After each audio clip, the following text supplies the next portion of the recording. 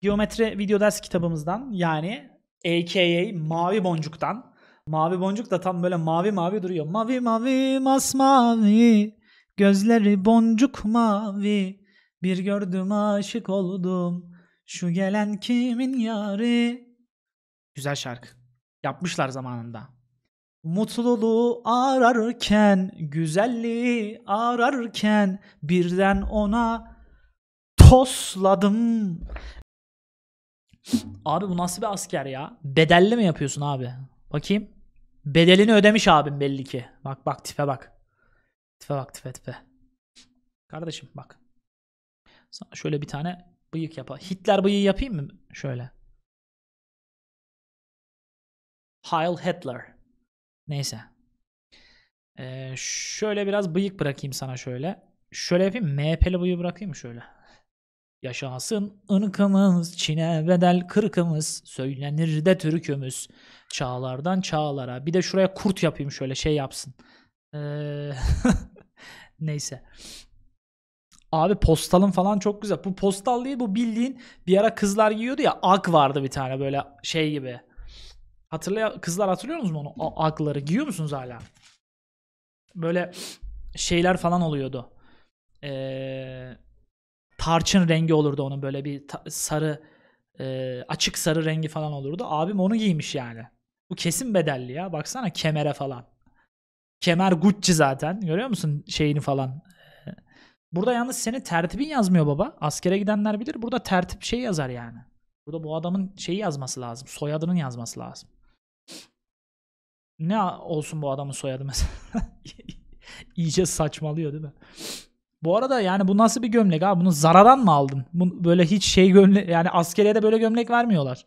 Yalnız bir şey söyleyeyim arkadaşlar? Bu asker rütbeli olabilir. Çünkü üstünde 3 tane çizgi var. Yani bizi birazdan kapı çalıp e, asayiş şubeden alabilirler. Biz o yüzden soruya odaklanalım geri. E, şöyle yap. Bunu sola devir. Bunu sağa devir. Tabanlarını yapıştır. Üçgen peynir yemediniz mi arkadaşlar? O bir üçgen peynir vardır böyle. Pınar'ın üçgen peyniri vardır. Onun böyle üstünden jelatinini açarsınız böyle barnağınızla böyle alttan sokuşturduğunuz zaman o peynir fırtlar yukarı doğru. Ondan sonra böyle simidi açarsınız. Böyle simit de böyle tereyağlıysa var ya üf. Bir de bir de var ya sıcaksa simiti böyle yardığınız zaman o açtığınızda o simidin hamuru böyle bir şey yapar. Bir buhar yapar. Ondan sonra e, üçgen peyniri alırsınız simide şöyle sürdüğünüz zaman o üçgen peyniri biraz soğuk bozulmasın diye onu soğukta muhafaza ettikleri için biraz serttir ama o tereyağı ve hamurla bulaşı, buluştuğu zaman o böyle bir anda böyle bir erimeye başlar böyle. O eridiği zaman böyle hamuru hafif ıslatır sonra böyle kapatacaksınız onu. Üstüne çayınızı içeceksin. Vallahi yemin ediyorum canım çekti ya. Yemin ediyorum canım çekti. Neyse. Tamam. E, kelebek benzerliği.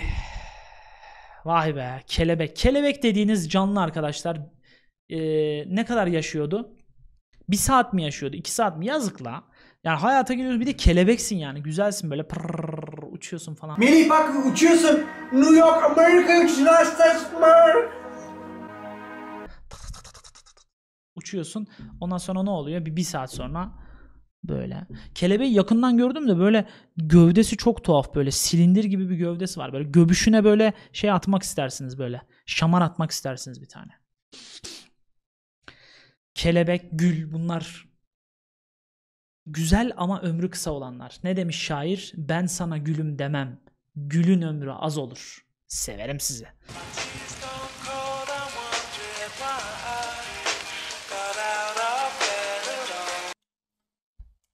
...22 dakika mı oldu? Tamam hadi. Başlıyoruz. Mert Güve.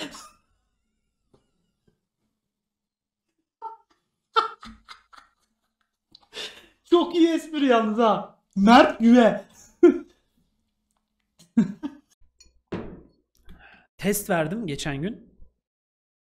Çünkü acayip bir şekilde boğaz ağrısı vardı. Dersleri anlatıyordum siz fark etmediniz ama çok aşırı bir şekilde ağrı vardı. Ben de test verdim. Negatif çıktı. Bakın göstereyim de size. Sonra inanmamazlık yapmayın. Covid negatif. Severim ben Covid'de negatif olmayı. Ne zaman yaptırmışım? 5 Aralık'ta yaptırmışım. Vay be. Yalnız çok pozitif gibi gittim yani. Baya moralim falan da iyice bozuldu. Baksana abi bu nedir? Şey eee, gittim hastaneye. Orada bir tane abla var böyle. Eee, sürekli bir şeyler soruyor bana. Ya gittim mesela dedim ki Covid testi yaptıracağım dedim. Özel bir hastane. Gittim Covid testi yaptıracağım dedim. Ne için dedi. Ya şimdi bak hani şey için söylemiyorum da hani devlet hastanesi olsa tamam. Özel hastane belli ufak bir meblağ ücret ödüyorsun. E, ve test oluyorsun. Yani sana ne ne için? Ben de dedim ki yani hasta olduğumu yani enfekte olduğumu düşünüyorum dedim. Nereden bu şeye vardınız diyor bana. Allah'ım serçe parmağımdan bak. Ondan dolayı. Neyse sonra yurt dışına mı çıkacaksınız falan. Baya sorguya aldı beni yani. Arkadaşı içeri alın bakalım falan diye böyle üstten spot ışık geliyor.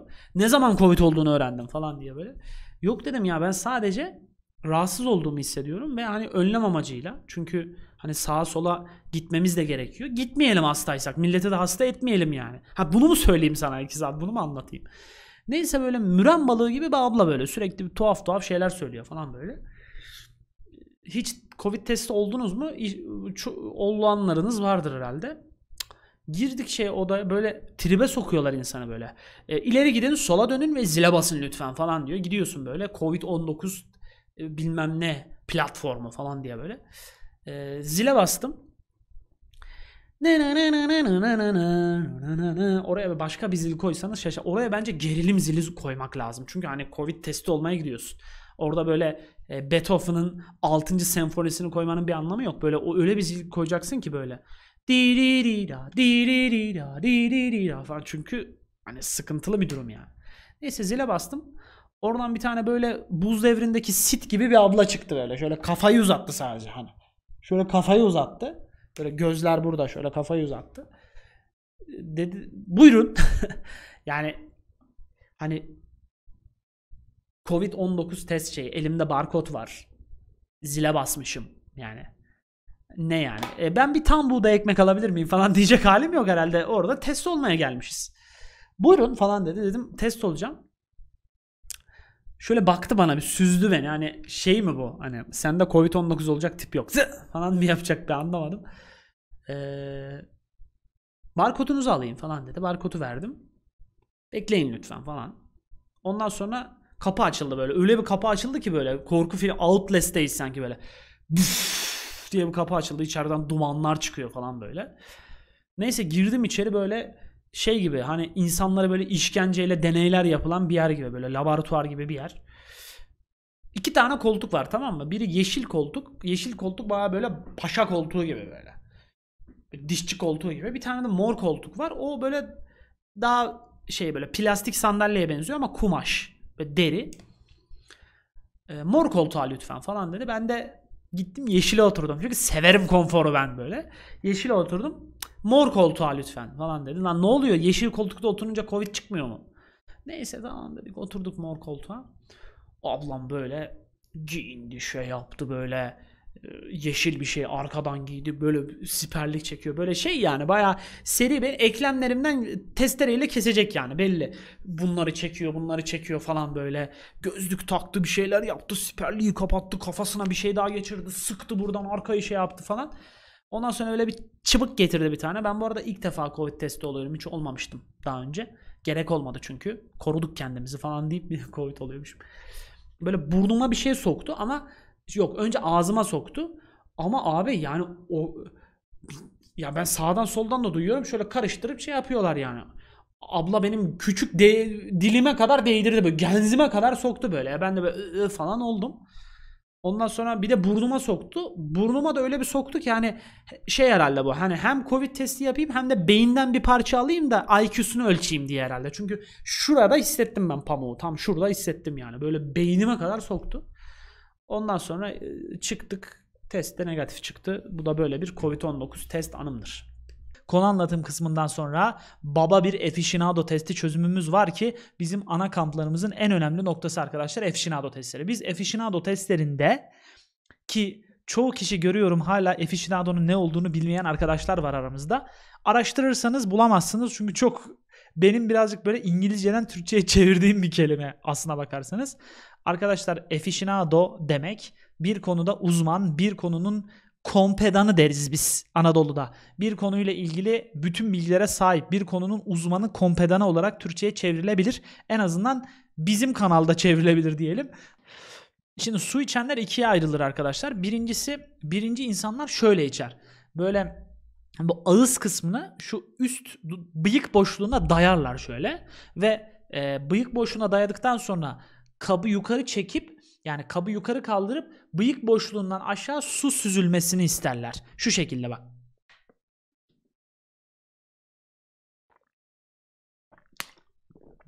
Böyle içerseniz bıyık boşluğunuzda bir ıslanma. Hele erkekseniz bıyıklarınızda bir ıslanma ve pislenme mevcut olacaktır.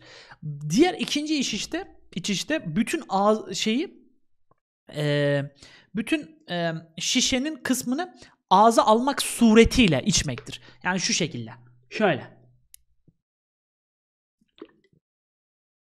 Bu biraz daha erkek içişi diyebiliriz. Yani burada bir cinsiyetçilik e, vurgusu yapmak istemiyorum ama hani bu biraz da erkekler biraz daha böyle nasıl diyeyim böyle e, böyle yaratılış itibariyle biraz daha böyle ayı gibiler ya yani. O yüzden hani e, bunu böyle ağzına döküyorsun. Bak şöyle bir ses çıkıyor mesela.